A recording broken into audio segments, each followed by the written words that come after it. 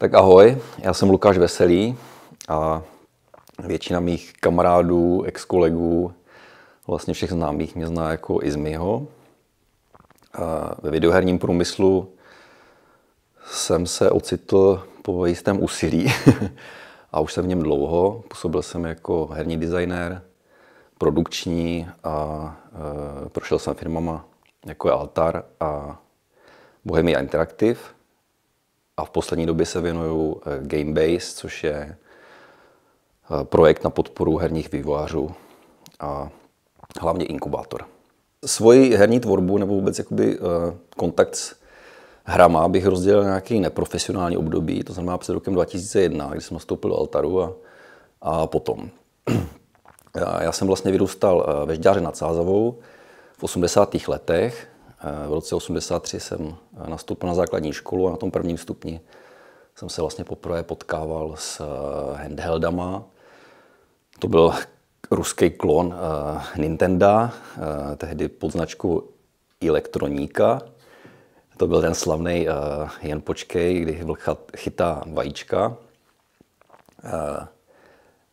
Ale potom se začaly objevovat eh, další, další podobné hry na těch stejných zařízeních, jako byla nějaká chobotnice s potapičem a, ještě si pamatuju Snoopyho, jak tenisovou raketou palkuje míčky. Takže eh, vzpomínám si, vždycky měli někam autobusem, tak to byla zábava na dlouhé cesty. Ještě si vzpomínám, že eh, jsme měli doma konzoli, v 80. to bylo vlastně ještě v 80. letech, kterou nějak tata tehdy dostal od někoho, kdo emigroval do Německa. A to byl vlastně uh, Pong, jo. A to tehdy asi bylo licencovaný jako pro různé firmy. A my jsme tehdy měli konzoli od Blaupunktu, to si vzpomínám do teďka. To se normálně připojili na televizi. Musel jsem tam naladit ten správný kanál, což vlastně u těch 8 bitů taky tak fungovalo, že se stačili prostě anten, antenním kabelem do televize, musel se naladit ten správný kanál. Když se neměli ty předvolby, tak se to museli vždycky ladit po každé. A tahle ta konzole teda byla zajímavá v tom, že tam vlastně byly analogový ovladače. To byl takový, já jsem to říkal kroutítko. To se takhle drželo v ruce, jak ovladač od autodráhy, ale na konci nebyla jako tlačítko, ale byla tam takový jako čudlík, který se otáčel. A vlastně jak moc to člověk vytočil na jednu na druhou stranu, tak, tak ta čárka na té obrazovce vyjela nahoru nebo dolů. Jo. A bylo to hrozně jako eh, mm, responsivní, jo, že prostě opravdu s tím dalo rychle, rychle reagovat na to, co se tam na té obrazovce děje, krásně se to hrálo. Byly tam tehdy čtyři mody, eh, jako ten Pong, jako o jednu stěnu, pak jako na, na dvou stranách a ještě vlastně pro, že to bylo zdvojený. A bohužel ten naše ta konzole už byla taková polorozbitá, proto jsme ho tehdy dostali. Takže nějaký dva mody z toho prostě na té obrazovce byly rozmazaný nebo prostě zdvojený s duchama a špatně se to hrál. A to si teda pamatuju, že to bylo jakoby eh, nejčastěji vlastně tehdy v té době, co jsem hrával, i přesto, že to nefungovalo úplně dobře. Na tom druhém stupni už se začaly objevovat, nebo jsem začal objevovat 8-bitový eh, počítače. Pamatuju si, že existoval tehdy nějaký pionýrský klub, nebo možná svazarm, a já jsem vlastně zavítl do nějakého kulturního domu, kde byla výstava těch 8 bitů a her. A mě to úplně fascinovalo, a že vlastně může existovat jako malý zařízení, který zvládne takhle na televizi zobrazovat eh, hry, protože jsem vlastně znal eh, takový ty herní automaty z Maringotek, co byly na poutích, ale to byly velký stroje, já jsem vlastně netušil, co je uvnitř, ale měl jsem pocit, že počítač prostě musí být obrovský. A taková veselá historka eh, byla, že na těch eh, poutích vždycky jsme hráli za dvě koruny, myslím, to hrála, stála ta jedna hra, ten automat, tak to jsme jako trávili dlouhé hodiny. Pak jsem jednou šel na, s tatou na takovou pouť a, a, a přemlouval jsem ho hrozně, že musím jít na centrifugu. A už jsme tam byli dvakrát nebo třikrát, a už to bylo docela blbě. A já jsem mu teda říkal, že mě ještě nějaký peníze tady na ty automaty. A on byl takový fanda jako těch počítačových her, takže mě na to dal peníze a odešel. A já jsem teda nebyl zas takový zarytý hráč, takže jsem ještě projezdil všechny ty peníze na té centrifuze. takže v té době byla pro mě centrifuga zajímavější než ty automaty. později jsem začal potkávat spolužáky, kteří měli 8 bity, takže jsme se navštěvovali. A to byly vlastně Atari a Sinclairy. Potom vlastně si vzpomínám na škole, na tom druhém stupni, to jsem vlastně chodil do matematické třídy, ten žďár byl v tomhle takový progresivní. A tak tam už měli nějaký 8 bity ve škole. Takže tam jsme se učili na nějakých didaktikách. Myslím, že to byl původně to byl Ondra, potom nějaký didaktik M nebo něco takového. Tak si vzpomínám, že jsem měl spolužák, který tak hrozně chtěl jako počítač, že uh, asi rok trápil rodiče tím, tím, že ze všeho vyráběl počítač. Vždycky šel jako nějakou krabici polystyrenovou nebo papírovou, tak to nakreslil ty tlačítka. A to všude doma vystavoval a jako rodiče, rodičům se ho zželelo a nakonec mu teda pořídili nějaký ten didaktik, což byl vlastně český klon těch, eh, těch, toho Spektra nebo toho Sinclairu. Takže to byl jakoby další takový uh, stroj, ze který jsem taky přicházel do, do kontaktu. No a ještě v tom žáře vlastně jsem zapomněl, že uh, já nevím, jak to tehdy bylo, ale to byl prostě nějaký jakoby uh, pobočka nebo odbor nějakého JZD a oni některé ty uh, centra byly jako počítačový, že prostě měli vybavený uh, vybavení jako hardwareový, uh, poměrně jako bohatý. A já jsem začal chodit úplně náhodou do nějakého kroužku, protože maminka mého spolužáka tam pracovala. A tak jako vybrala si z těch třech spolužáků mě, nevím proč. A já jsem tam chodil, začal s ním chodit do nějakého počítačového kroužku. Tam si vzpomínám, že tam byla jedna teda místnost eh, těch sálových počítačů, to byly taky velké skříně a tam prostě se to ukládalo na takový velký magnetický eh, pásky. A na tom jsme teda štěstí nedělali, to jsme jako k tomu jenom obdivně chodili a dívali se a mysleli jsme si, že to teda jako musí být výrazně větší liga, když to tak obrovský oproti těm stolním počítačům, který tam teda nakonec taky byly. My jsme se tam učili programovat na, eh, tuším, to byly nějaký robotrony, takže to byly takové ty obrazovky, kde bylo všechno zelený, že jo? jenom textový, si myslím, že to tehdy bylo. Tak tam jsme hrávali nějaký klony toho uh, Pacmana a ještě takové nějaký podobné hry. Ale pak už tam byly nějaký jako písíčka, tehdy už jako IBM compatible. Vím, že na tom Robotronu jsme dělali ještě v Basicu a pak jsme se učili, začali učit Pascal. Tam byla jako nějaká ta čtyřbarevná grafika, že jo, to uh, CGE, CGA a pak tam šly jako potom ta 16 barevná, tak to bylo jako úplný halo. Takže tam jsme hráli jako první nějaký grafický hry. Já vím, že to bylo takový hodně růžový, to byly ty čtyřbarevný. Světla, světle modrá a růžová, to mě utkvělo v paměti. A... Takže tam jsem se jakoby naučil základy eh, tady toho pokročilejšího jazyka, no, toho Pascalu. Myslím, že rok před revolucí uh, tata dovezl z, z Německa, nebo možná z Rakouska, uh, Commodore 16, takže co jsem byl úplně nadšený. Já jsem k tomu měl takovou malou televizku, to byl takový ten designový Merkur, taková bílá zaoblená kostka malá. takže to jsem měl jako možnost si nechat ve svém pokoji, takže jsem tam měl připojen ten počítač a mohl jsem si to kdykoliv zapnout, to bylo super ale neměl jsem k tomu vlastně ten kazeťák, takže cokoliv jsem potřeboval na tom nebo chtěl na tom programovat, tak jsem eh, si to musel napsat a pak se to zase smazalo.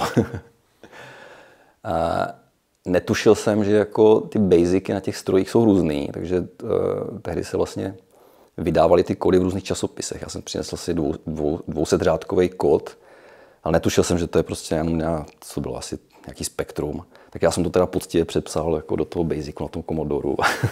On začal vyhazovat chyby, já jsem vůbec netušil, co to jako, co s tím mám dělat, takže mnoha hodinová práce šla do kytek. a, a vlastně tehdy, tím, že neexistoval internet a ani vlastně jako mobilní telefony, nic podobného, takže ten kontakt jako s dalšíma lidma, který by mě mohli poradit nebo nějak mě pomoci do toho dostat, prostě byl nulový. K tomu Komodoru byla tlustá příručka, psaná v Němčině. Já jsem německy neuměl, ale tato uměl dobře německy. Takže si vzpomínám do teďka na ten jeho rukopis, kdy vpisoval prostě pentelkou mezi řádky svůj český překlad. A, takže z toho jsem se naučil programovat jako basicu. Pak jsem rok na to dostal teda ten kazeťák, to byl taky ještě vlastně před revolucí, nebo možná už v tom roce. Takže ty svoje programky jsem si teda mohl slavně nahrát a potom zase jako uložit a zase nahrát, abych s ním mohl něco dělat. Bohužel jako jsem zjišťoval, že ten Basic je hrozně jako neschopný, tam cokoliv jako vykreslit bylo, byl problém, jako pomalý to bylo a podobně. Takže tam se vlastně hlavně jsem si hrál s tím textovým modem. A zkoušel jsem tam různé hry, jako, jako jakoby jednoduché Invaders a podobně. Všechno v textu. A vím, že tam byla jakoby na konci toho manuálu byla mm, jako nějaký stránky o assembleru. Já jsem teda jako tatu přesvědčoval, že mi to musí jako taky přeložit, protože jsem pochopil, že jako jenom díky tomuhle se dá tam programovat nějaká grafika. Ale on sám to moc nerozuměl, takže mi přeložil jako nějaký jako útržky. Z toho jsem teda nebyl moc moudrý, takže jsem psal nějaký, do nějakých adres, jsem tam psal prostě nějaký, uh, nějaký data, ale někam to vykreslilo nějaký pixely, já jsem vůbec netušil nic o binárním kódu a podobně.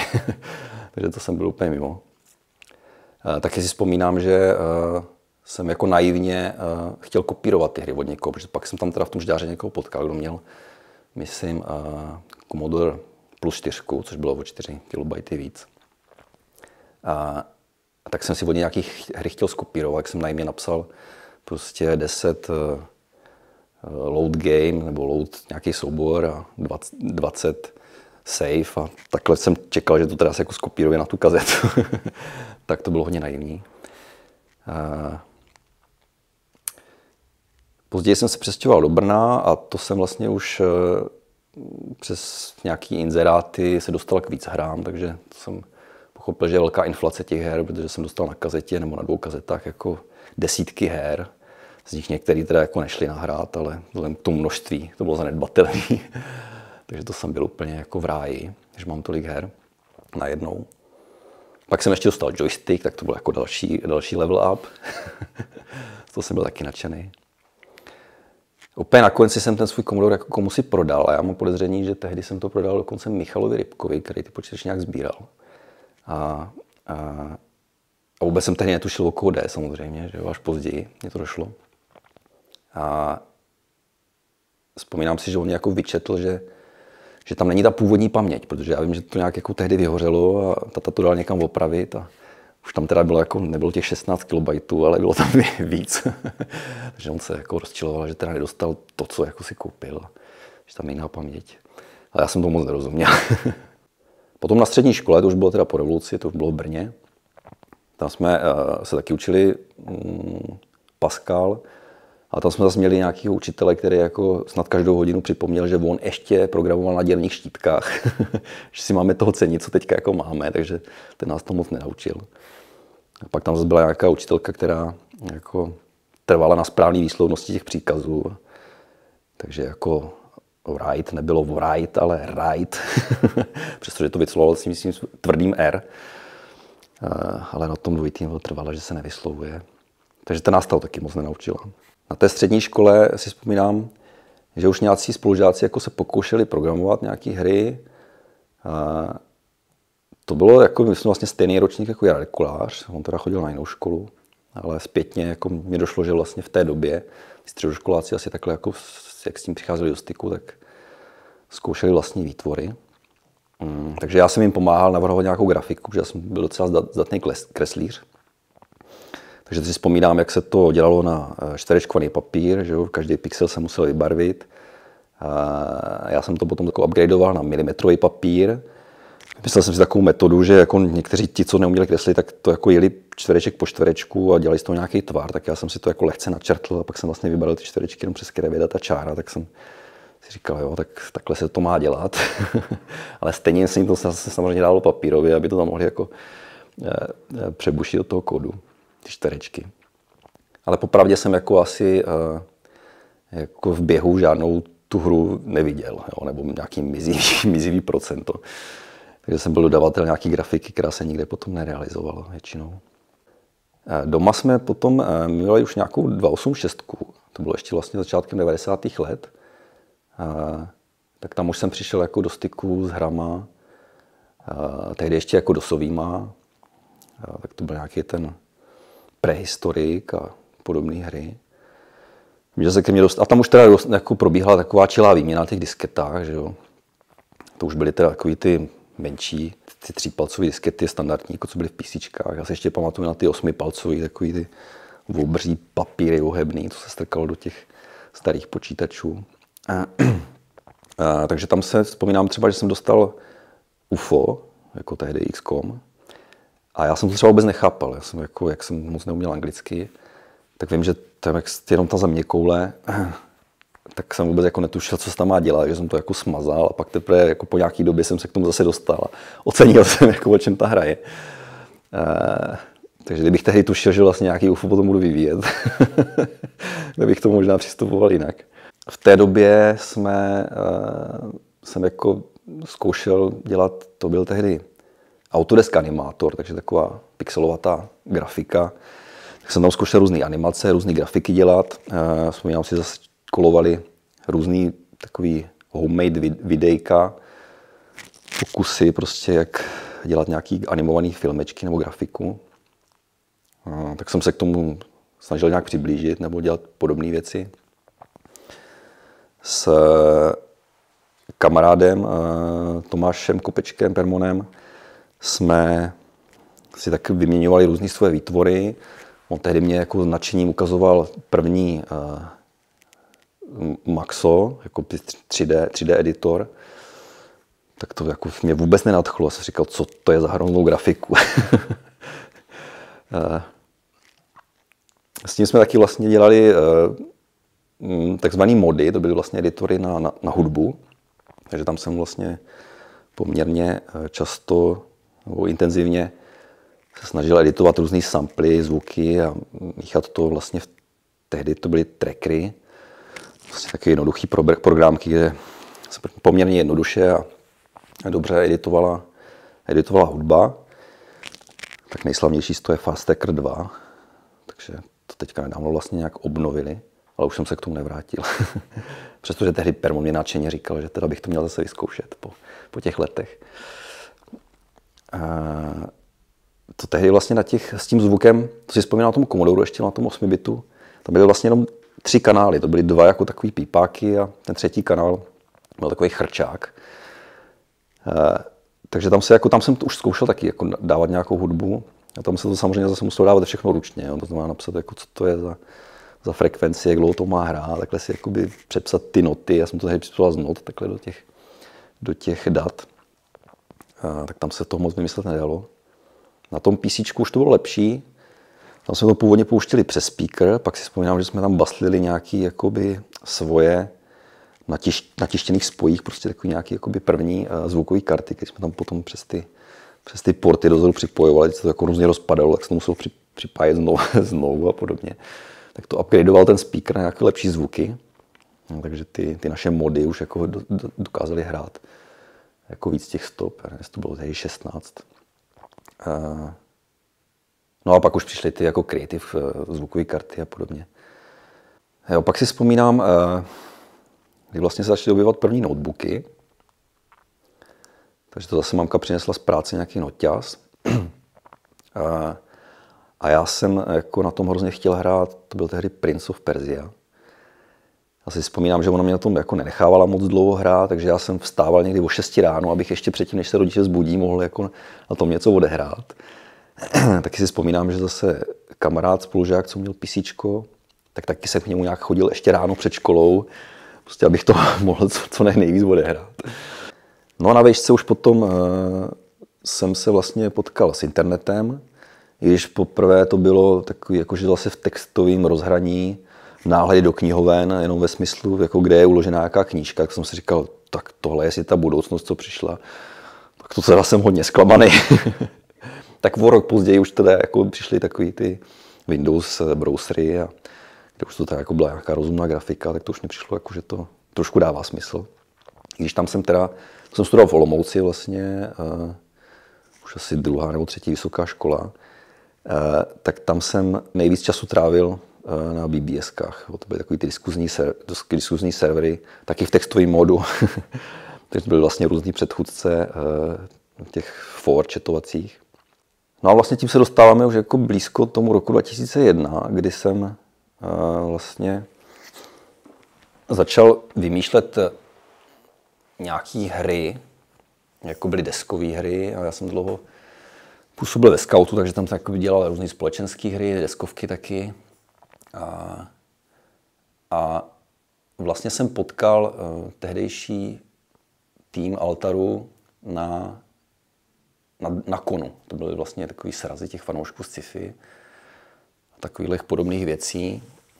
A oni tam představovali vlastně, že pracují na Original War. Já jsem tam tehdy vyčetl, v tom, z, toho, z toho publika jsem vyčetl, jakože nezmínili, že to dělají podle slavné, nebo mé oblíbené knížky Poslední den stvoření. A oni to teda potom uváděli, že to tak podle toho je, ale tehdy to neřekli, tak mi to přišlo dost nepatřičný. a já jsem je tehdy oslovil s tím, že teda dělám nějakou deskovku a to jsem vlastně tehdy dělal taky s tím Permonem. A že bych to chtěl jako skrz altar eh, nějak prostě zkusit vydat nebo dodělat. Já jsem hrozně velký fanoušek té jejich arény, deskové, Vláďovy arény. V tom jsem se soutěžil. No a oni si mě tehdy pozvali, to byla vlastně tehdy kancel eh, ještě na Sedlákové. Na Sedlákové to už nebyly ve sklepě, to už bylo jako nějaký to vyšší patro. A tam jsem, eh, myslím, že s Martinem Klímou a, a i Rumunem a, a Vláďou Chvátilem jsme tam vyzkoušeli tu moji deskovku. Oni mě k tomu dali nějaký jako zpětnou vazbu a říkali, že to není úplně pro, jako pro vydání do, do altaru. Takže to byl jako můj první kontakt s tím, že oni mě vlastně potom eh, zvali eh, do toho svého klubu, co měli společnost, společnost přátel Tolkiena, takže jsem s ním hrával nějaké deskovky a sledoval nějaký seriály, už nevím, co to bylo. A potom jsem vlastně chtěl hrozně dělat ty počítačové hry, jsem dělal, že teda tady v Brně Altar dělá počítačové hry, tak jsem hrozně dlouho psal Martinovi Klímovi, ať mě teda vezme že bych chtěl dělat toho designéra, případně grafika. Tedy jsem se hlásil vlastně na architekturu, tak jsem měl nějaký přípravného kurzu spoustu takových jako krezeb, který byly na nějaký úrovni, dostatečně, mě přišlo dostatečně zajímavý. Takže jsem tehdy eh, v Altaru byl, to už byli na Reskově. Eh, hlásil jsem jako grafik, tehdy vlastně Finder se na to tak podíval a říkal, že to tak je moc komiksový a že to jako nedělají. A pak jsem se tam bavil ještě uh, právě nějakými designnými otázkama. Jako přišlo mi, že třeba víc zaujalo vládu nebo Romana, jak přemýšlím nad těma, nad těma herníma mechanikama. Takže na to, na to konto jsem si říkal, ale to by stalo to zkoušet dál a dál. Tak jsem psal tomu Martinovi, uh, ale on argumentoval s tím, že jako nechtějí lidi, co ještě studujou. Takže jako docela přišlo vhod, že já jsem nějak potom nějak neudělal státnice, a měl jsem jako půl roku nebo rok pauzu, tak jsem mu říkal, já teďka znovu nestuduju, tak bys mě teda mohl vzít. a on říkal, OK, tak teda přijď. A to bylo v roce 2001, kdy eh, měli čerstvě dodělaný Original War. Já jsem tam nastoupil jako designer slash eh, skripter eh, na datadisk. Začal jsem tam vlastně programovat ty mise v nějakým to jejich in-house vyvinutým skriptovacím jazyku. Ten se tehdy jmenoval Seal, což byl takový jako, takový jako vohnutý Delphi, podle mě. Ale poměrně brzo se ukázalo, že to jako není projekt, na kterým bych měli pokračovat dál. A dostali vlastně na stůl to UFO slavný. No a dlouho nám řešilo, jak to vlastně jako udělat, aby se z toho dala udělat nějaká hra. A nakonec toho jako vzniklo v zásadě jako dost něco jiného, než byly ty základy, co jsme dostali. Na UFO Aftermath jsem dělal zase takového level designera nebo herního designera částečně. Pracoval jsem vlastně hodně s databází těch předmětů a technologií a podobné věci. A na tom jsme hodně spolupracovali s Martinem. Ten tehdejší altar vlastně patřil Martinovi Klímovi, Pašíkovi, Robertovi Hoffmanovi a musí Petrovi Němcovi, ze kterého jsem, jako, kterého jsem potkal možná jednou, ten tam vůbec nebyl v tom Brně. Pašík tam jezdil docela často, ale on se spíš staral o takové jako věci jako business, sales a marketing a podobné věci. A ten Martin a, tam vlastně dělal jako nějakého takového kreativního ředitele a CEO, CEO vlastně v zásadě. Na UFU Aftermath jsem eh, kromě level designu dělal i UIčko a no, GUIčko. A bylo to o tom hlavně eh, poskládat vlastně z těch návrhů grafických, jak by to mělo vypadat eh, dohromady, ty jednotlivé prvky. To znamená říct, hele, tak tohle to z toho potřebuji vyřezat, tohle tlačítko, potřebuji, aby to mělo x stavů, což mělo zase předepsaný od programátora. Takže já si vzpomínám, jak jsem vlastně poměrně, tam tehdy se to dělalo hrozně komplikovaně, že to vlastně muselo být jakoby 3D, takže ty 2D uh, asety nebo ty obrázky já jsem musel jakoby vy, pře, překonvertovat do nějakého 3D věci a to potom vlastně v tom GUI editoru zasadit na to správné místo, sledovat, jestli to je na ty pixely prostě zarovnaný úplně správně, jestli to má nastavené všechny stavy, potom definovat eh, vlastně, co se s tím má dít, když je to stisknutý, eh, když se na to najde myší, zmášně se to, je to přepnutý, jak to mění barvy a podobně. Takže tohle já jsem musel jakoby, no, takový vlastně interface mezi tím předpisem ze strany programátora, co by to mělo dělat, až po, a po ty grafiky, které dokázaly vlastně jenom navrhnout tu hlavní, eh, ten celkový jakoby vizuál. No. no a potom bylo vlastně, mm, to jsem vlastně dělal i na tom eh, Aftershocku asi, protože vím, že jsem měl potom problémy jakoby vlastně všechno to do té jedné obrazovky poskládat, protože tam bylo hodně, poměrně hodně vlastností, už co ty vojáci eh, jako umí nebo dělají jaký to mají všechny ikonky, takže já jsem jako navrhoval, nebo říkal jsem, potřebujeme ikonku k tomuhle, mohlo to by to být vypadat takhle, musí se to odlišit tady od toho, aby to bylo podobné. Teď to musí všechno poskládat vejce na tuhle tu obrazovku nebo tady do té čtvrtiny, protože tady už se zase bude objevovat 3D, 3D model toho vojáka. Jo, tam bylo jakoby straš, poměrně velké množství obrazovek, co vlastně všechno se, se tam má dělat. Jo. Skládání týmu, jejich vlastností, upgradeování, potom vybavování těma všema předmětama. A pak to byly screeny na tu strategickou část, jo, kde se mají na ty země kvůli pohled, jaký jednotky a, a podobně. jo, takže to byla jako poměrně taková komplikovaná práce, ale mě to bavilo, já jsem byl takový pečlivý vždycky. Takže jako to přesně zarovnávání a poskládávání a vymýšlení, jak to vlastně, jak to vlastně udělat, aby to bylo přehledné a dávalo to smysl. A mě docela bavilo. No. A i vlastně s těma prác, jako s těma tabulkama, mm, my jsme měli vlastně docela dobrý systém na, eh, vlastně na, ty, eh, na to balancování. Vlastně pracovali s Excelem, takže tam to šlo jakoby poměrně rychle jako všechno měnit. Když jsem potřeboval ke všemu přijít jedničku, tak jsem to prostě na to hodil nějaký příkaz a všechno změnilo a vlastně díky Dvotanovi se to potom dalo překlápit do té databáze. Uh, takže vlastně v tom kódu to bylo uložené úplně jako v jiný podobě, než s jakým my jsme s tím jako designéři pracovali což bylo super, ten Excel, že jo, má poměrně dobrý rozhraní na, tohle, na tyhle věci. A i potom třeba jsem si vzpomínám, že jsme vlastně dělali koordináty na, ty, na tu mapu, jo, na, tu, na ten globus. Eh, prostě všechny věci jsme dělali v Excelu a díky to, jakoby tom, té konverzi do té databáze to takhle fungovalo. Takže jsem byl potom jako poměrně zděšený, jak to vlastně třeba funguje v té Bohemce, jo, že tam bylo všechno v XML napsané, takže jsem tam musel všechno dělat ručně tam neexistoval jakoby nějaký nástroj, který by dokázal všechno hromadně, eh, hromadně, hromadně jako změnit. Tam to musel jakoby ten design nějak držet v paměti nebo to nastavit té vyšší třídě, ale už to bylo jako hrozně komplikované, že to XML jako to je pro normálního člověka v podstatě nečitelný. Jo. My jsme s tím UFem vlastně měli problém jako najít nějakého vydavatele. To bylo takový jako stigma těch her toho altaru, že, eh, že bylo hrozně těžký pro ty vydavatele nebo pro ty potenciální publishery si ty hry někam zařadit do nějaké škatulky. Jo. To bylo takový hrozně úzký hrdlo, protože vlastně ty hry se tehdy jako jinak vydávat nedali, než najít vydavatele, který to prostě vylisuje na ty CDčka, rozdistribuje a podobně. Takže když se mu to nelíbilo, nebo řekl, hele, tohle to my neumíme prodat, tak tím byla stopka a muselo se jít za někým jiným, kdo by to jako dokázal. No a už vlastně to UFO uh, i to původní vlastně UFO bylo takový mix vlastně taktiky a strategie, takže tam už to bylo jako těžké jako to někam zařadit. Jak jsem říkal, já jsem, když jsem to poprvé hrál, tak jsem to nepochopil. A, a to naše UFO vlastně ještě byl kousek jako o krok víc mimo ty škatulky, protože tam vlastně ještě byl mix toho real time a té tahovky.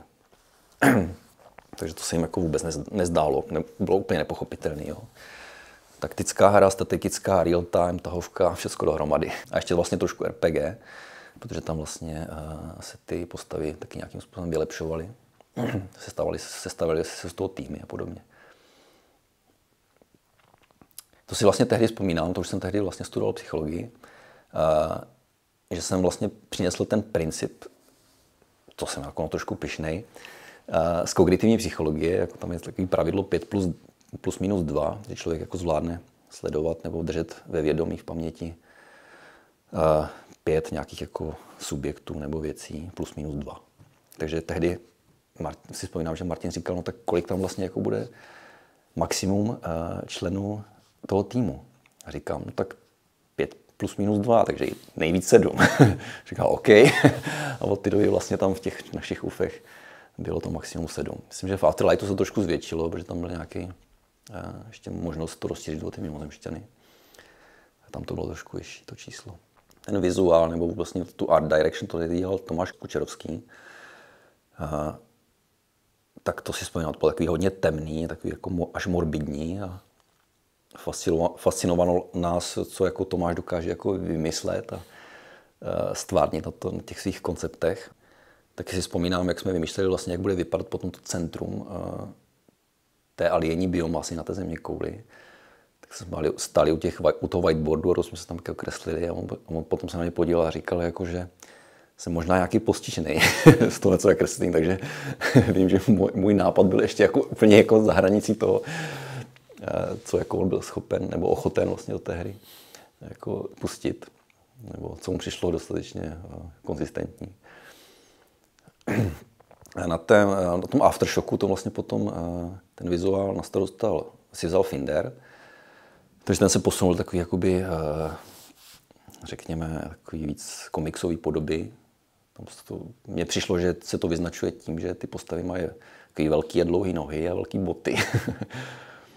a ten Afterlight se ještě posunul ještě víc a tam do toho vlastně ještě taky dost zasahoval s Finderem a a to si myslím, že si toho jakoby Finder byl tehdy už celou dobu. Pamatuju si Zdeníka Vespalce Vespu, který tomu taky hodně určoval tvář, vlastně tomu Afterlightu. On říkal, že u toho Afterlight měl vlastně jako podobnou roli, jako měl Tomáš Kučerovský u toho Aftershocku, že vlastně byl nějaký v podstatě skoro externista, který jenom dodával koncepty, ale jakože jako lead té grafiky byl někdo jiný, Valtaru. Tam vlastně uh, začal fungovat poměrně brzo jako lead těch grafiků Dave, David Zapletal. Oni si to rozdělili, že Vlastně ten uh, Dave dělal hodně jakoby ten management těch grafiků a, a Finder tam tehdy dělal spíš ten art direction. Tak to bylo rozdělené. Ten programátorský tým se taky hodně proměnil, protože vlastně na tom prvním UFU, na tom Aftermathu, to byl ještě tehdy Prcek, Tomáš Hlucháň, který vlastně přišel z Original War. A na druhým, na Aftershocku to byl uh, Michal Světlý, York. Myslím, že tak se jmenoval. a na třetím to potom byl uh, Votan, Votan Jídr. Ten Votan tam byl vlastně od začátku, od Aftermatu, takže tam byl už potom takový hodně, řekněme, stabilní a konzistentní tým mě přišlo na tom Afterlightu, protože vlastně díky tomu, jak jsem říkal, že ten Altar měl hrozně problémy najít toho publishera na nějaké svoje hry, tak se to vlastně promítlo do finanční situace toho Altaru. No. Tam vlastně byl poměrně nešťastný, jak se vlastně prodával ten Original War. Toho jsem teda nebyl. A, a potom s těma dalšíma UFOma to vždycky svým způsobem zachránila Senegal. Slávka Pavlíčka. A, protože to byla vlastně taková poslední štace, jako koho to teda vydat. A, ale ten altar to prostě jako finančně nezvládl. A vlastně ještě těsně před dokončením Aftershocku se dá si jako v podstatě zkrachoval. Jo.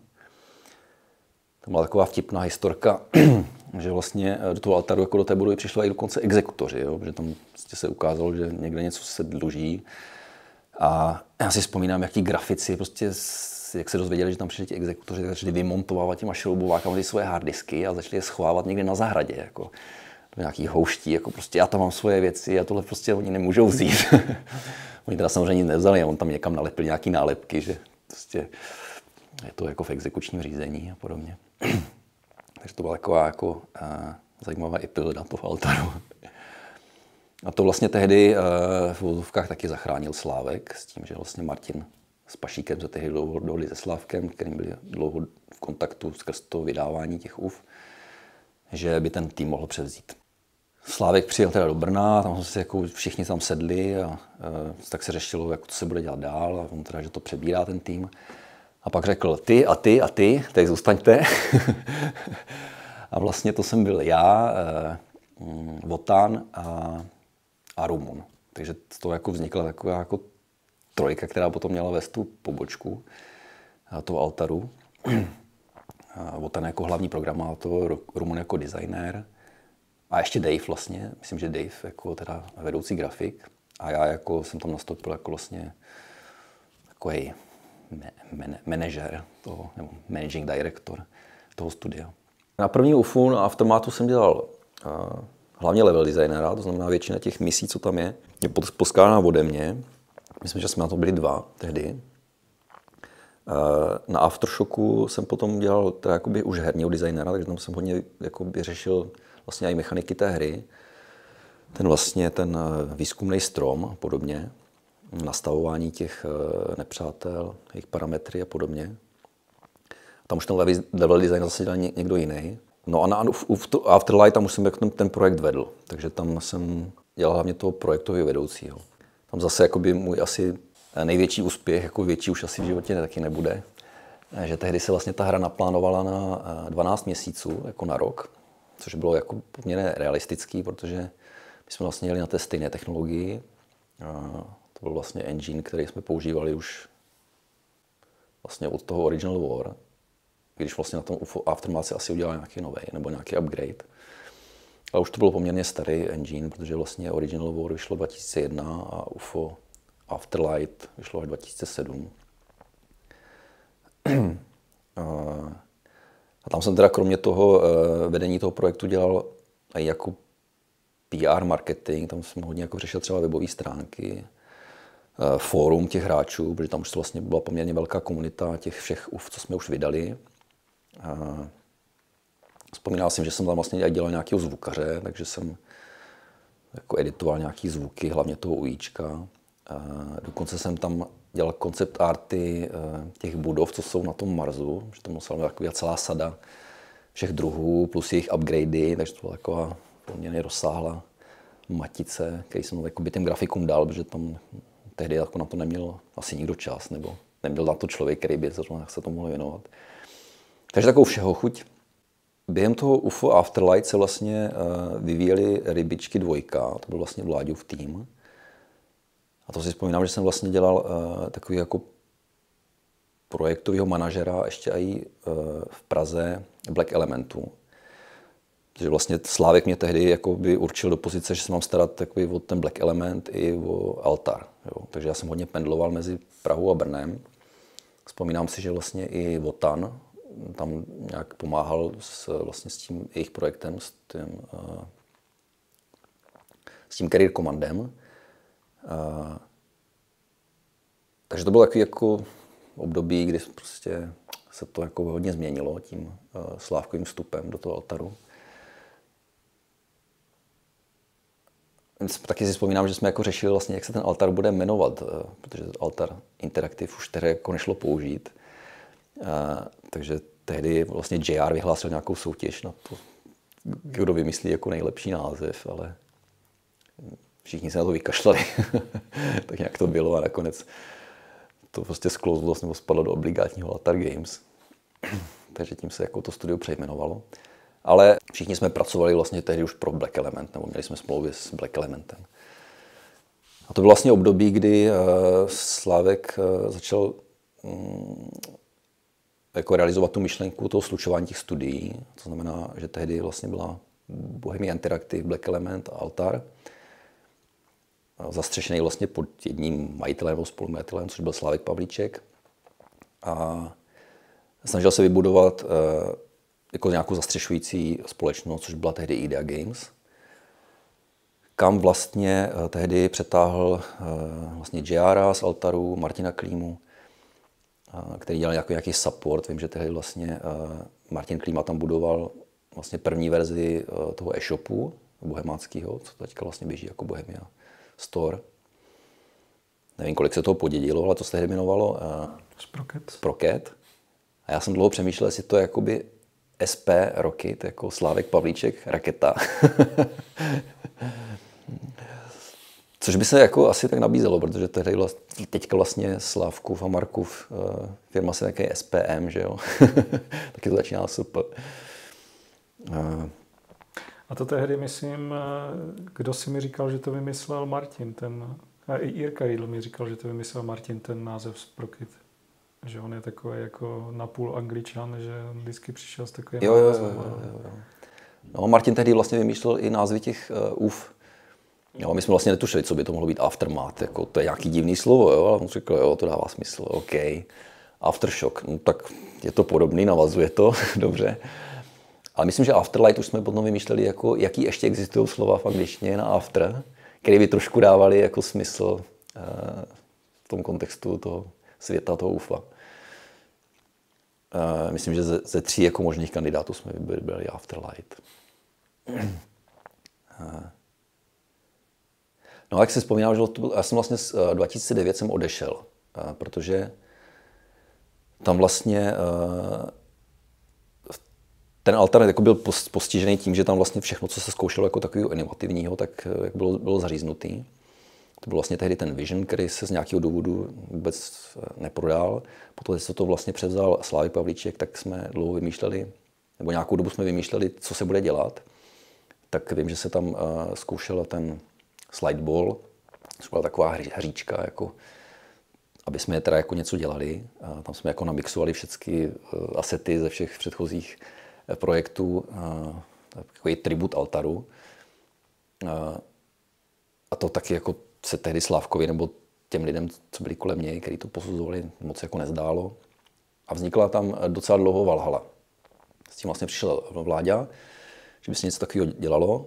A to bylo, vlastně zase taky to skončilo na tom, že eh, vlastně tomu týmu kolem Slávka, tomu sales nebo marketingovému týmu to jako nepřišlo jako prodatelný. Zase to prostě mix žánru úplně jako nepochopitelný. Že zároveň to byla jakoby konzol, konzolová jako bojová hra, ale zároveň to byla strategie. Jo, zároveň to vlastně zbudoval tu armádu, takže trošku jako takový ekonomický model, trošku vlastně RPGčko, protože ta armáda mohla získávat nějaké schopnosti tím, jak sbírala různé jednotky nebo specialisty. Tam se vlastně docela dlouho řešilo, na jakým engineu to pojede. A, protože tehdy už vlastně ten, už ani nevím, jak se jmenoval, ten uh, engine, na kterým běželi UFA, to už bylo nepoužitelný uh, z hlediska tomu, jak ty hry vypadaly. Takže jsme tam hodně dlouho ohýbali vlastně ten Fidův engine uh, z toho z Black Elementu. Uh, Enforce. No a tam to byly takové situace, jako si vzpomínám, že Vláďa vlastně přišel s tím, že vlastně celý by to mělo být na hexech. Jo. A teďka Fido jako super jako vůbec nechápal, proč jako všechno se dělá na čtverečcích, to, prostě nepůjde. Jo. Třeba, takže takový podobný jako situace tam nastávaly, že Vláďa se něco vymyslel, co v té hře musí být a, a oni vlastně ten Fidův tým ještě dělal na své hře, že jo. A on ještě se měl věnovat tady jakoby úpravám toho engineu pro naše potřeby, takže tam to jakoby hrozně jako vázlo. Eh, většina těch věcí, co my jsme jako vyžadovali, tam nakonec se objevila, jo, ale eh, bylo to prostě těžké, aby někdo jako programátoři se věnovali svým projektu, ještě jakoby zpravovali engine vlastně a plnili požadavky pro nějaký další projekt. Ale jako z hlediska Slav, eh, jako Slavkového business přístupu to samozřejmě dávalo smysl, využít všechno, co, co jde, co máme a aby se to zbytečně neduplikovalo. Na ten Valhalla jako byl vlastně poměrně nový tým, jako byli vlastně docela noví lidi, a byl taky hodně jako schopný, si myslím. Ale bohužel jako na to období, kdy jsme to měli dostat do nějaké prezentovatelné formy, nebylo zkrátka dost času a ani těch lidí nebylo moc. Jo, to bylo nějakých pět lidí možná. Takže my, když jsme to potom jako měli ukázat a říct, hele, takhle, by se to, takhle by to mohlo vypadat, takhle by se to mohlo hrát, tak to vlastně jako by ta hlavní negativní zpětná vazba byla na to, jak to vypadá. Že tam vlastně nebyli uh, jako grafici, nebo žádní jakoby výtvarníci silní, kteří by tomu dali na té, na té technologii, které jsme měli k dispozici, nějakou solidní tvář, aby to přesvědčilo ten sales a marketing tým. Takže to vlastně eh, Slávek úplně takhle zařízl, s tím, že vlastně tehdy se v Bohemce dodělávala eh, Arma 2, takže Slávkovi zase dalo největší smysl, aby jako větší část altaru se věnovala tomuhle. Takže už vlastně v tom roce 2008 až 2009 vlastně ty grafici se začali věnovat uh, té armě. Já jsem vlastně v tom roce odešel, protože už mě to přišlo, že vlastně neděláme jakoby svoje vlastní hry, za prvé. A ta moje práce už byla taková jakoby hodně, hodně administrativa. Jako, jako management jsem si říkal, no tak eh, to už mě za to nestojí. A další faktor bylo, že vlastně Martin Klíma tehdy odešel z Idea Games, protože moc hodou okolností dostal nabídku z Anglie. Poté, co vlastně skončil Altar, tak on jako se roz, začal rozlížet kolem a teprve až rok potom, nebo rok a půl, vlastně mu přišla nabídka eh, vlastně tehdy od Codemasteru, aby vlastně začal dělat na tom Flashpointu, což vlastně trošku konflikt zájmu. Eh, eh, vlastně, protože vlastně dělal v ideji trošku s Bohemkou. A možná to byl důvod, proč ho vlastně nakonec nabrali do, toho, do té Anglie, aby to jako z něho vytáhli to jeho know-how, jak se to vlastně tady v tom nížku dělalo správně. Protože samozřejmě to bylo úplně někde jinde kvalitou, ten projekt nakonec. A on tam potom popisoval, jak v té Anglii jako všem říkal, že takhle to prostě dělat nejde a že to, že to prostě nedopadne dobře, že to nestihne. A, ale tam to bylo hodně jako o tom biznisu, než o kvalitě hry, třeba jak to v těch velkých jako firmách je. Takže tak to tak dopadlo nakonec, jak říkal. No. No takže odešel, takže to mě trošku zasáhlo, já vím, že jsem mu to trošku vyčetl, že zase utíká někam.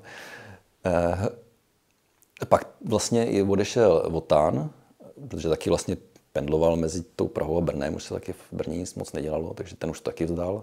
Jsem si říkal, no tak to už se asi loď potápí, tak taky odcházím. to jsem teda netušil, jako, že všude okolo je jako celosvětová krize v roce 2009 takže jsem byl jako asi rok a půl úplně mimo obor. A, ale bylo to hodně zajímavý období, že jsem jako získal odstup a trošku jako zjistil, o čem je jako reálný svět, co jako lidi řeší, když neřeší hry. ale vím, že mě to hrozně chybělo, jo, že, a, že když jsem se potom vrátil vlastně tehdy už do, tehdy už do Bohemky, i když to vlastně ještě pořád jako studio Altar na Reskově, tak jsem si říkal, že to je paráda, jako na všechny jsem se ráno cestu do práce usmíval, jo. Úplně jako nezvykle. Říkal jsem si, jo, tak to přesně potřebuji jako řešit, eh, jestli když se auto převrátí, jestli se mu bude, budu dál točit kola nebo ne. a ne řešit s kolegama, jako jaký auto si koupili, nebo jestli sledovali nějaký zápas ve fotbale. Takže tak. A to bylo v roce 2011, kdy jsem zase přesvědčil, jako tehdy Ivana Buchtu a e, Dana Musila, kteří vlastně vedli e, tu brněnskou pobočku, že bych se jim hodil jako hlavní designér, protože tehdy o tamtud odešel Rumun. To bylo vlastně po vydání, e, tuším, už dvou DLCček do Army 2 a řešilo se, co vlastně jako se v Brně bude vyvíjet tehdy vlastně to brněnské studio dostalo na starost Armu 3. S tím, že eh, v té době, kdy jsem tam nebyl, tak se to vlastně eh, nějak jako ustanovilo, že se udělal takový mix vlastně té army a toho UFA, co vlastně, s kterým měl ten altar největší zkušenosti. Takže já, když jsem k tomu přišel, tak tam byly jako rozpracované koncepty o tom, jak vlastně je země napadená alienama, nebo zrovna jakoby probíhá ten útok, ta invaze. A dějí se na té zemi prapodivné věci, jako až řekněme parapsychologických uh, charakteru. Takže se hodně řešil jako nějaké efekty, jak to vlastně bude na toho hráče působit, když bude procházet tou postapokrajinou, kdy bylo všechno rozbitý a, a jak se mu mění to vnímání a podobně. Tak si vzpomínám, že jsem taky mluvil s Markem Španělem a říkal jsem mu, hele, já bych tady jako chtěl dělat toho hlavního designéra, jako v Brně s tím Ivan i Dan souhlasí, co ty na to. A jsme se bavili a já jsem se ptal, a tak jako ta Arma 3, jako na, na jak dlouho to taky jako je ten projekt? On říká, no tak třeba na rok. Říkám, OK, tak jo, tak to je zvládnutelný. Já jsem zkušenost s tím UFO Afterlight, že jsme to tady udělali za rok. Říkal jsem si, tak asi ví, o čem mluví, ten engine už je jako v zásadě hotový. Takže za rok to teda rozhodně nebylo. Postupně se to jako změnilo do takové realističtější podoby. Ten hlavní jako design tomu tehdy určoval Ivan Buchta. Hmm. A já jsem vlastně dostal na starost eh, tu realizaci. V tom, uh, s tím týmem těch designérů. Ale bylo to hrozně komplikované v tom, že uh, ta technologie úplně jako nebyla uh, jako přístupná tomu, co my jsme jakoby tam chtěli udělat, za prvé. Za druhé jsem měl jako strašně malý tým a většina byli junioři. Jo? Tam byl vlastně jenom Jose, Pepa Zemánek, který měl jako zkušenosti s tou, s tou armou, který dokázal poměrně efektivně skriptovat to, co jako se navrhlo. Ale postupně tam přibývaly různé jako featurey, který by hrozně těžký zvládnout, jo? protože ten Ivan samozřejmě chrlil nápady, co by se tam všechno jako mělo dát té armě trojce dělat. A takže jsme jakoby hodně selhávali v tom eh, to jakoby správně nadizajnovat a teďka ještě vlastně domluvit s těma programátorem, aby to tam správně naimplementovali. Jo? Že oni se stěžovali, že vlastně ten engine je tak zapikaný a tak jako strašně těžko se v něm cokoliv jako hledá, opravuje a dodělává, že to bylo všechno na, jako jedna feature prostě na, na eh, dlouhý lokte. Hmm. Takže jakoby v tomhle důsledku jako třeba, když jsme dělali to plavání nebo to potápění, tak na tom vyhořeli jako dva, dva programátoři, úplně jsme se jako, prostě jako viděli jsme, že to s nima nefunguje, takže já jsem potom jako řešil, jako jak vlastně se jich zbavit. Jo, a to bylo to vlastně jako, jako těžký období. A tehdy vlastně v Míšku dodělali Take On Helicopters, takže vlastně ten Jorisův tým byl v té chvíli uh, volný. No a Joris, uh, Joris Fanteland měl poměrně velké zkušenosti s tou armou a rozdělilo se tak, že vlastně v tom nížku se budou dělat uh, ty mise. Jo? Vlastně ten gameplay se bude dělat v nížku a my budeme dělat jakoby ten core, to znamená ty hlavní mechaniky, ten svět a podobně. No a pak přišel rok 2012, kdy jako se stala ta nešťastná událost s tím Řeckem, kdy tam vlastně Ivan, tedy s Maxelem a s Martinem Pezlarem uvízli no, strašně dlouho, už přesně nevím, jak to bylo dlouho, ale bylo to jako hodně těžké období. Takže tady jako od nás vypadl vlastně hlavní designer slash creative director a, a, a vlastně hlavní mapař, jo, znamená hlavní designer té, toho světa, toho terénu. A ještě vlastně Dan Musil, který vlastně měl na starost ten projekt nebo vedení té pobočky, tak taky začal nějakým způsobem odpadávat jako skrz nějaké svoje osobní problémy, nebo vlastně vlastně řešili si v tom altaru, vlastně v té bohemce ještě dál zůstat. Takže tam se to ještě rozpadalo po té personální stránce, takže Marek přišel s tím, že jako, uh, se to musí jako zásadně překopat. Jo. Takže uh, dostal na starost celý projekt Joris uh, s tím, že vlastně těma kreativním, kreativním ředitelem se tehdy stal J. Crow. To v mých očích, jako, očích jako byla teda jako hodně silná dvojka, protože vlastně spolu hodně spolupracovali už na těch helikoptérách. A potom vlastně, až se Ivan vrátil z toho Řecka, tak vlastně přibyl tady k té dvojici. Takže to byla jako hlavní, hlavní tři tahouní toho, jak vlastně ta Arma trojka nakonec dopadla. Všechny ty DLCčka, jak se vydávaly a podobně. Takže ten velký úspěch vlastně uh, vznikl takhle, tímhle tím způsobem postupně. Arma trojka vlastně nejdřív vyšla v Early Accessu. A to bylo zajímavé to, že jsme vlastně, tehdy vlastně byli asi druzí uh, v tom Steam programu Early Access se taky řešilo vlastně, jestli to dává smysl nebo ne, ale tím, jak měla Bohemka hodně velké zkušenosti tím, něco vydá, vlastně to moc nefunguje. Takže tohle bylo jako ideální řešení, že se to vlastně vydá, ale že to nefunguje vlastně v pořádku, protože ještě není to hotový. Tím se vlastně altar přestěhoval, rozrůstal díky tomuhle vlastně eh, tomu zázemí, který ta Bohemka měla takže se potřebovala přestěhovat, to jsme se přestěhovali vlastně tady do Řečkovic. Do toho roku 2012 jsem byl uh, hlavní designér té armii, s tím jsem měl na starost ten svůj malý tým, ale potom, jak se to vlastně změnilo organizačně a převzal to ten Joris, tak jsem se stal produkčním.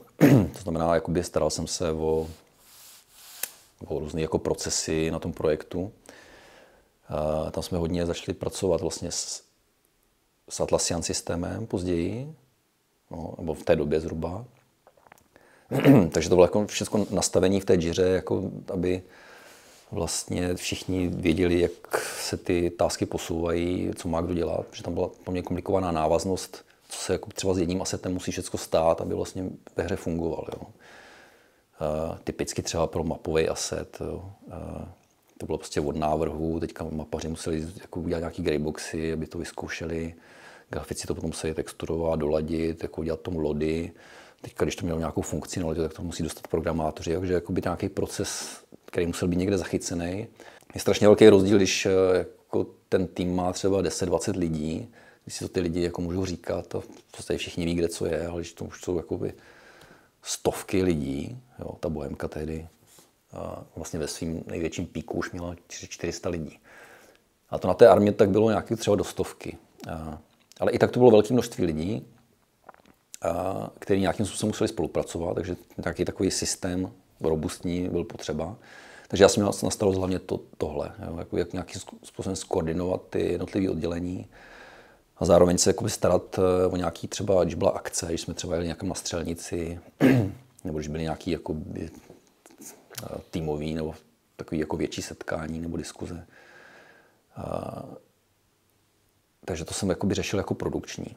Ale zároveň jsem eh, ještě zasahoval jakoby trošku do toho provozu, který teda měl na starost hlavně Budul, Martin Horák, který taky byl v Valtaru skoro od začátku. že jsme tam třeba řešili to stěhování a podobné věci. A, ale já jsem tam byl spíš jako jaký poradní hlas, jako z těch historických důvodů. A, no a v roce 2016 se mě vlastně narodil uh, syn a já jsem věděl, že v roce 2017 budu doma na rodičovské s ním celou dobu. Takže to se vlastně bylo poprvé, když jsem odešel. A když jsem se potom vrátil zpátky v roce 2017, zase jenom na rok, protože už se mi zase narodil další syn, takže jsem zase věděl, že zase ten další rok budu, budu doma. Uh, tak, tak to už bylo vlastně uh, Bohemka v Brně přestěhovaná na Skořepku, no, což byl velký, velký dům, který pojme asi stovku lidí, nebo tak nějak to bylo tedy koncipovaný. A to už byla zase úplně jinak, jiná liga. Uh, a v té době jsem vlastně uh, tam začal zastávat roli nějakého jako metodika uh, toho vývoje, jo? nebo vlastně už jsem ani nedal, nedělal tu produkci jednoho projektu, ale začal jsem jako řešit,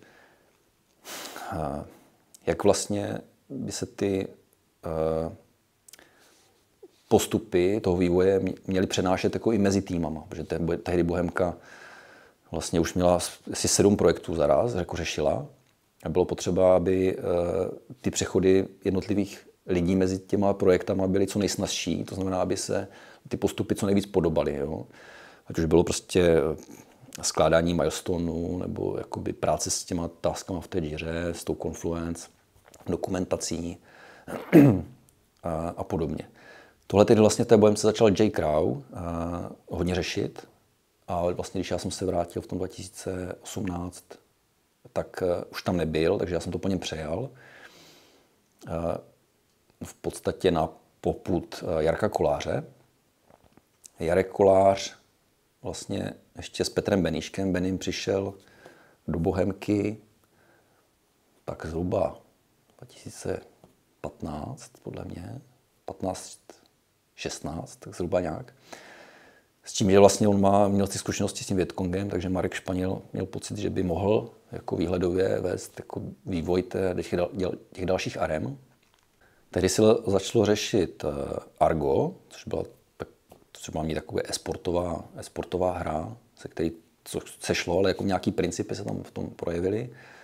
A, z toho vlastně se potom přetavil do nějakého nového projektu, který později dostal teda název Vigor. Takže ten Vigor se vlastně začal dělat eh, s Jarkem Kolářem těsně potom, nějak potom Argu.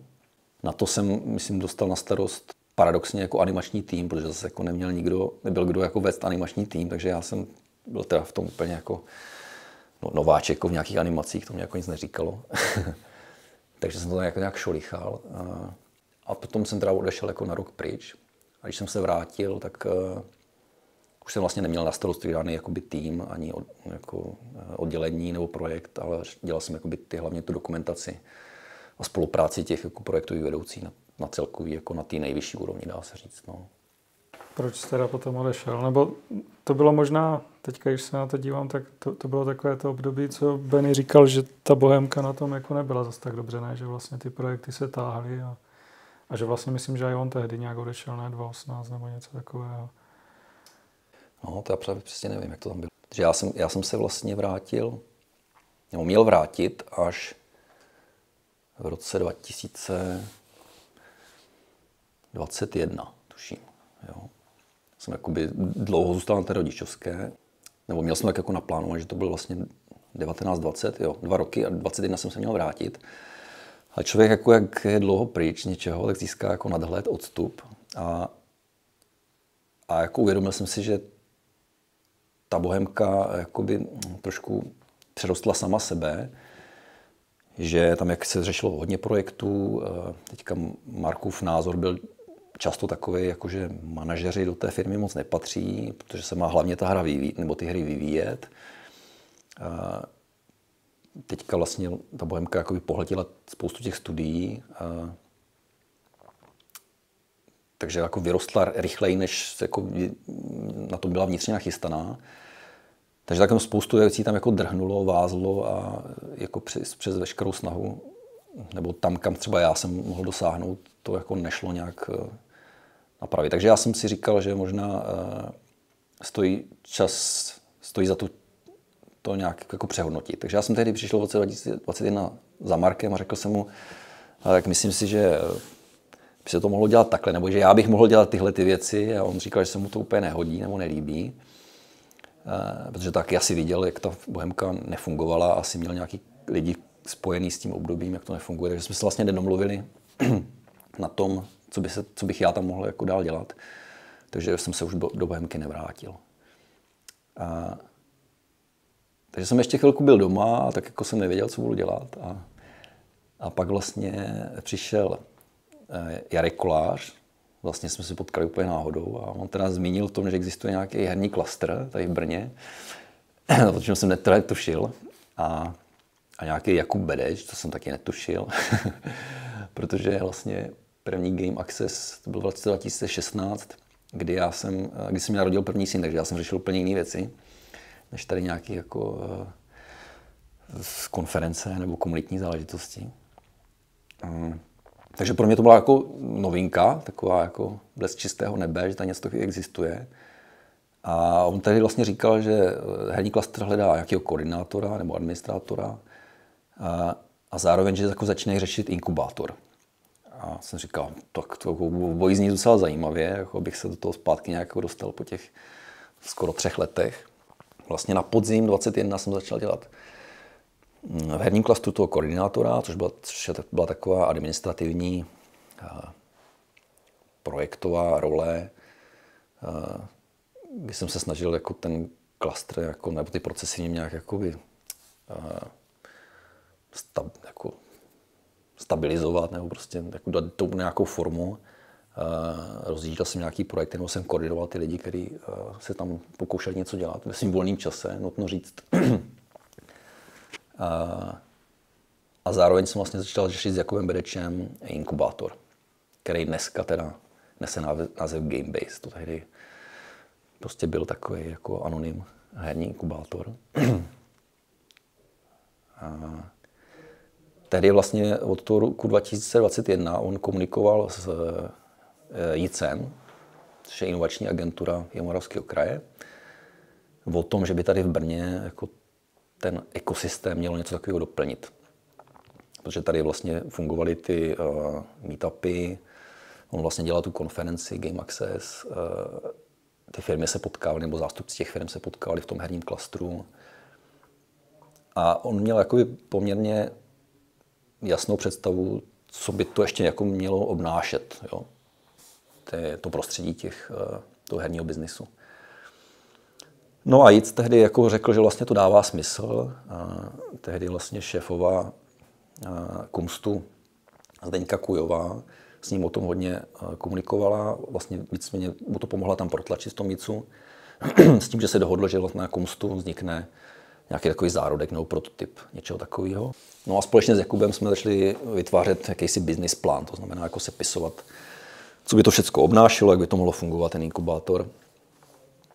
Takže já vlastně od roku 2022 eh, na tom víceméně pracuju, tak jak teď. A rozhodlo se, že na, podzim 22 se spustí pilot s tím, že poběží rok až dva. A v té době, do té doby měl nachystaná nějaká budova, něco jako na způsob kumstu, ale bude to teda nová budova, čistě zaměřená na, na ty herní vývojáře, která bude poskytovat služby jako pronájem těch kanclů pro začínající týmy, inkubátor pro ty úplně jakoby začátečníky, coworkingový centrum, nějaký přednáškový akce a podobné věci. Takže tohle to pořád v plánu je, bohužel ta budova se jako odsunula, ale už víme, kde to bude, což je paráda.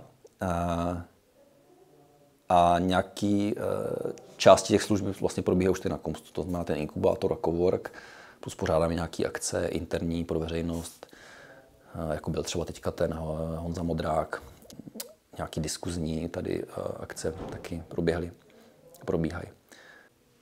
Teď už je to teda rok, nebo rok a něco? Co, co to teda oficiálně je spuštěné? Když... No tak od roku 2021 se na tom pracuje, 22, 22 vznikl pilot, 23, to znamená na podzim, je ostrý start. My jsme to vlastně koncipovali tak, že ten pilot bude jenom inkubátor, eh, s tím, že vlastně nabereme do toho týmy hlavně přes svý známy, jo, přes skrz ten herní klastr. Protože vlastně Gamebase je společný projekt herního klastru a JITSu a vlastně Jakuba Bedeče a Game Dev Area. area. A, a, a, takže tam vlastně vstupovali týmy, hlavně jako studenti nebo absolventi, kteří byli doporučený těma učitelama, který v tom herním klastru jsou. No a my jsme věděli, že se na něm potřebujeme vyzkoušet vlastně, jak by to mohlo fungovat. Jestli ten kurz, který tady jako jsme vymysleli, se dává pro ně smysl, Eh, ty mentors, mentorské konzultace, jestli budou vlastně po nich poptávka, jak by to mohlo, eh, jaký by to mohl být efekt. To jsme si rok zkoušeli na šesti týmech s tím, že eh, se nakonec rozhodlo, že vlastně od září 23 už to poběží na ostro. Jak to teda jde? Když je to teďka pět měsíců, to běží na ostro. Šest. Eh, jak to teďka jde? No,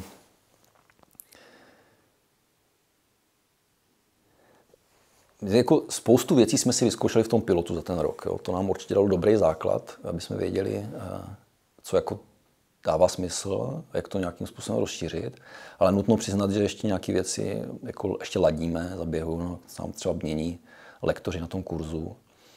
Eh, tím, že přidáváme nové věci, eh, vlastně se přidala Natália Sodomková, ještě vlastně od, od jara 23, která si vzala hodně na starost vlastně ty pořádání akcí a komunikace na venek. Takže to jsme vlastně taky začali na novo. Ten posun hlavně vnímám v tom, že uh, jsme si uvědomili, že je hrozně těžký pracovat v tom inkubátoru s týmama, který jako vlastně nejsou rozhodnutý, že chtějí podnikat. Jo? Protože uh, tím, že to je mm, organizovaný v zásadě a financovaný krajem, když to jako hodně zjednoduším. Jehož zájem je, aby tady vznikly nový eh, jako prosperující společnosti nebo studia, v našem případem herní, herně vývojářský. Tak my nejsme inkubátor na ty hry, jak to tak třeba bývá někde zvykem eh, ve světě, ale na ty týmy, na ty, na ty firmy. Jo? A my jsme vlastně z začátku nabírali hlavně lidi, kteří chtějí dělat ty hry, což, což tak jako je standard, že prostě lidi chtějí dělat hry, tak začnou vyvíjet nějakou hru. A, ale náš ten kurz a vlastně celý to vzdělávání a ta podpora je o tom, jak založit to studio, jak vlastně jak vybudovat ten biznis. No a když se tam potkává, potkáváme s lidmi, kteří říkají, no já vlastně nevím, jestli chci založit studio, nebo proč, proč bych měl dělat studio, když můžu být OSVČ. Já si říkal, no tak hrozně těžký jako i vysvětlit, jak se to dělá, ale ještě zároveň je přesvědčovat, aby, tak, aby to vlastně chtěli. Takže teďka jsme eh, na to konto vlastně začali vybírat týmy primárně takový, který opravdu chtějí založit to vlastní studio, i když třeba ví, že to bude trvat delší dobu, když třeba ještě studujou, ale mají tu ambici uh, jako být, být svýma pánama. Jo. Takže to je jako by zásadní změna.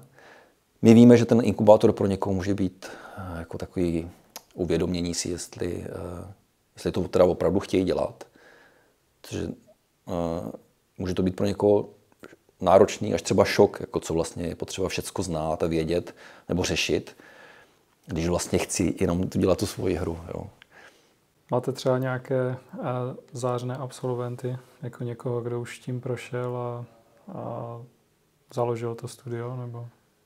No, my jsme si původně mysleli, že uh, to uděláme jako hm, mnohem menšího rozsahu, jo, že, že to vlastně budou půlroční běhy. Že prostě týmy přijdou v nějaké fázi vývoje svoje, své hry, my jim za půl roku dáme nějaký support, know-how a za půl roku odejdou.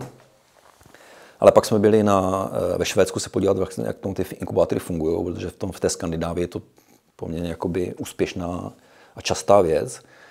A taková ale jakoby podpora těch, eh, těch, té veřejné zprávy tady tohle biznisu, protože oni ví, že se jim to vyplatí. Jo. Tam třeba takový městečko Chevde se jmenuje, píše to Skovde, ale se to Chevde.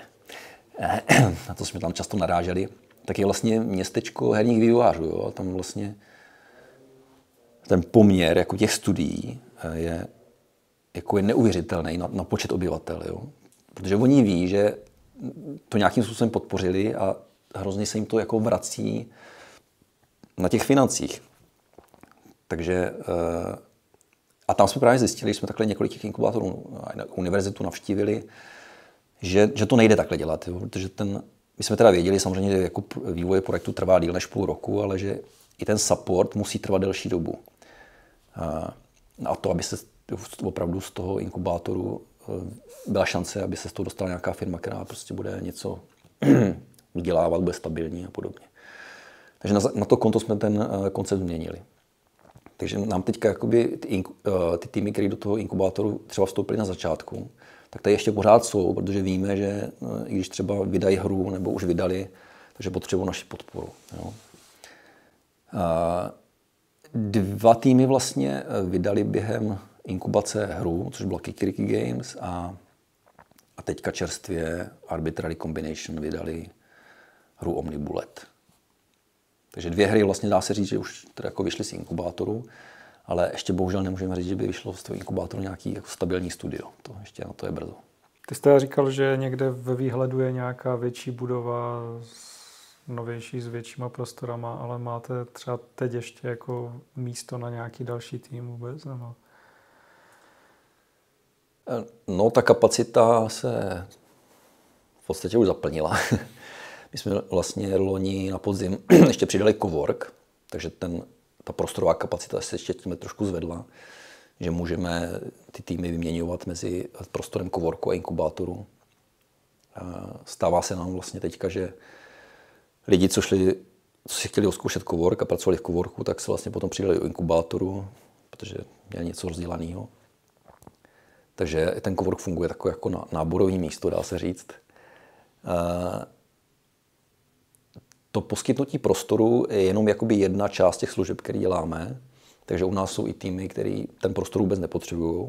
Dělají někde z domu nebo prostě někde se schází jinde. Eh, zvlášť eh, u těch, kteří prostě třeba přes den pracují, eh, nebo ještě úplně jako full time chodí do školy.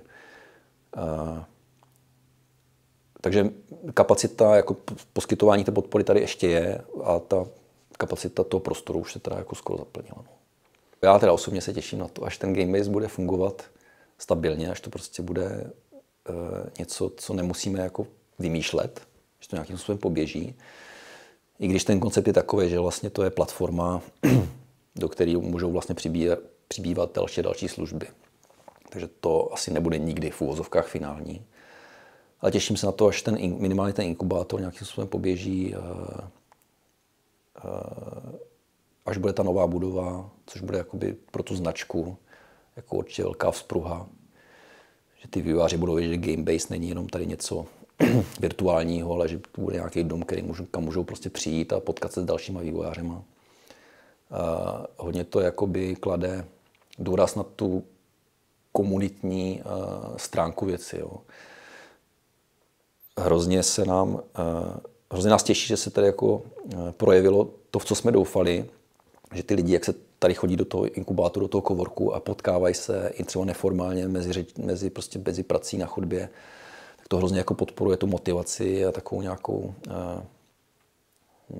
nadšení nebo i soudržnost vlastně a takovou spruhu do, do, toho, jako, do toho vývoje. No. Že to je hrozně hezký. Já jsem byl vždycky hodně zavřený v té své ulitě. Už vlastně tehdy, když jsme eh, pracovali v Altaru, tak jsme se málo výdali s někým dalším. Já vím, že tam byly kontakty s lidma z, z plastiku, jako třeba s Leky, Michalem Lekovským jsme se znali. A, a ještě pár nějakých takových výjimek, třeba eh, Martina Procházku, Aliena jsme, jsme znali. Ale takový ty jako výměny eh, nebo fluktuace mezi těma studiama, to jako v Altaru vůbec neprobíhalo. to byla taková hodně uzavřená buňka. A ani jsme moc nedocházeli na nějaký ty meetupy nebo setkání těch vývářů v hospodě a podobně. Já že jsem tam jakoby jednou zavítal, ale přišlo mě to úplně takový jakoby nepatřičný, jo? že tam ty jako 90% lidí se znalo, že byly z jedné firmy a jsem se vlastně neměl o čem s nimi mluvit, že oni řešili úplně jiný projekt a, nebo se tam vlastně o těch hrách vůbec nebavili. Takže jako já jsem vlastně v té, té věci vůbec eh, se nepohyboval. A pak vlastně až mnohem, mnohem později jsem začal chodit na ty brněnské meetupy, co vlastně dělal Jakub Bereč se Zdeňkem Záhorou. A, a teprve vlastně tady, vlastně, když jsme začali pracovat na inkubátoru, tak mi vlastně došlo, jaký to má mm, jako silný význam jo, pro ty vývojáře.